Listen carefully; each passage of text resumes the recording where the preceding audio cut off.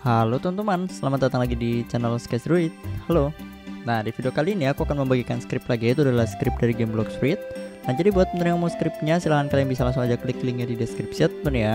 Caranya mudah, cukup diklik aja nanti bakal diarahin ke halaman selanjutnya lalu tinggal klik copy.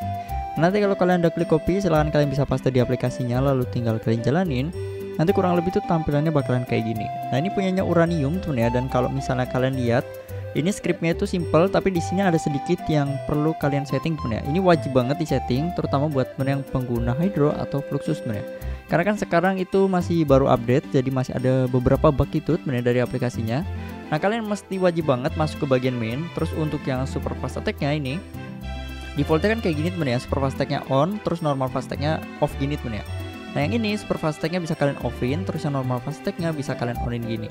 Nanti mungkin aku bakal contohin dulu nih Kalau super fast tag-nya on itu gimana? Misalnya kalian jalan ini Nanti biasanya NPC-nya itu nggak mau kena hit gini temen Ini mau temen Tapi kadang-kadang suka nyangkut Sering banget nyangkut gitu temen Jadi kayak nggak mau ke hit aja gitu temen ya Lama delaynya Dan itu nggak selalu di HP semua kayak gitu temen Tapi sebagian besar banyak yang kena kendala kayak gitu temen Jadi caranya itu tinggal kalian offin aja yang super fast tag terus onin yang normal fast tag kayak gini. Nah itu jauh lebih rekomend buat temen yang mau AFK lama.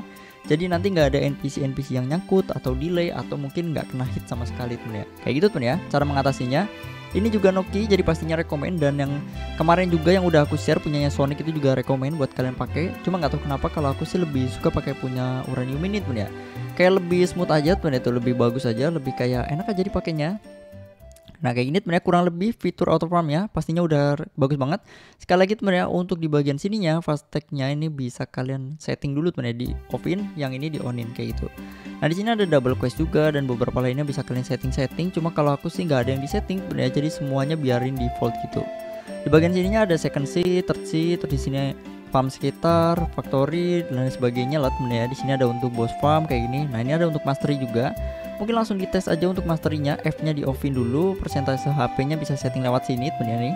Nah ini ada 25, 20 sama 10 temen ya Mungkin coba 25 dulu. Nah kalau udah bisa langsung di run lagi temen ya Nih masterinya bisa setting lewat sini yang free aja temen ya kayak gini.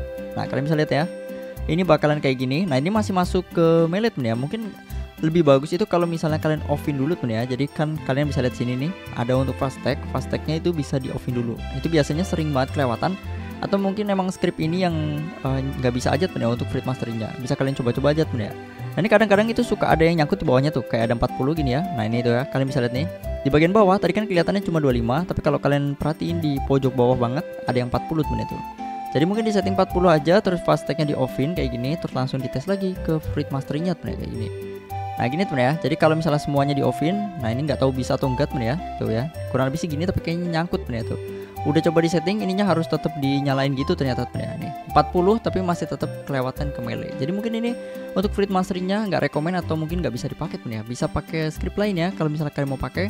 Terutama bisa pakai punya Sonic yang kemarin udah aku share temen itu udah no skill dan pastinya rekomend banget untuk mastery tapi kalau untuk leveling aku lebih saranin sih pakai script yang ini lebih smooth dan lebih enak aja temen ya. Kayak gitu untuk di bagian menu pertama Terus di bagian menu kanan kayak gini sampai bawah, ini sampai bawahnya kayak gini. Terus di bagian item di sini ada untuk quest-quest gitu kayak ada do kayak gini temen ya. V2 ini udah pasti jelas temen ya.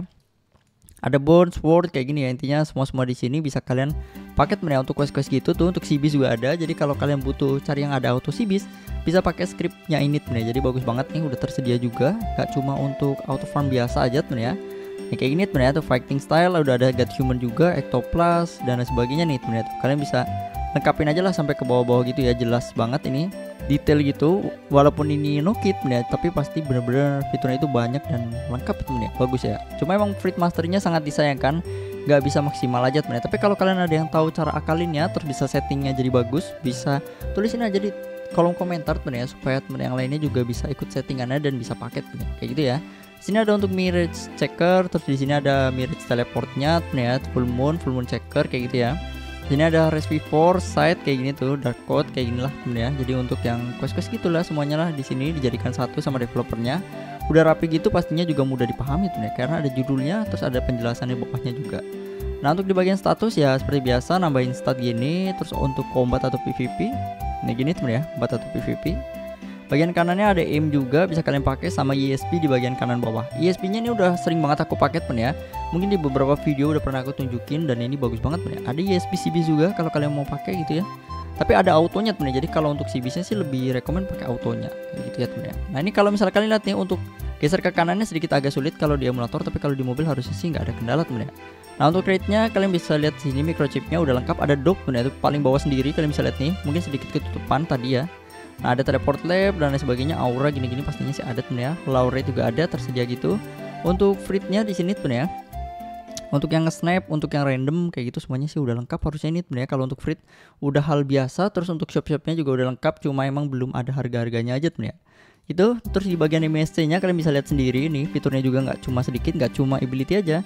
Ada open UA terus di sini kalian bisa lihat untuk pindah-pindah tim ada untuk inilah ya. Banyak banget ya ada grafik gitu-gitu jadi pastinya nih rekomend banget buat temen yang mau pakai terutama untuk di update baru. Kan Roblox ada update baru sebenarnya jadi APK nya nggak semuanya itu bisa kita pakai sebenarnya jadi cuma Hydro sama Fluxus tauku yang sekarang udah bisa dipakai tapi itu juga Fluxus nggak bisa jalanin semua script sebenarnya jadi dua script ini mungkin yang cukup rekomend fiturnya lengkap bisa di level max atau level akhir dan uh, yang untuk quest-questnya banyak banget kan ya. Jadi mungkin kurang lebih gitu aja untuk video kali ini. Terima kasih banget buat temen yang udah nonton videonya buat temen yang suka sama videonya bisa di like dan buat temen yang gak suka sama videonya bisa di dislike terus buat temen yang masih kebingungan atau mau tanya-tanya silahkan bisa tuliskan di kolom komentar atau bisa join ke discord ada di deskripsi buat discordnya. Dan buat temen yang belum subscribe silahkan bisa subscribe dan aktifkan lonceng notifikasinya supaya nggak ketinggalan upload terbaru dari channel Sketch Droid thank you see you next time. Bye bye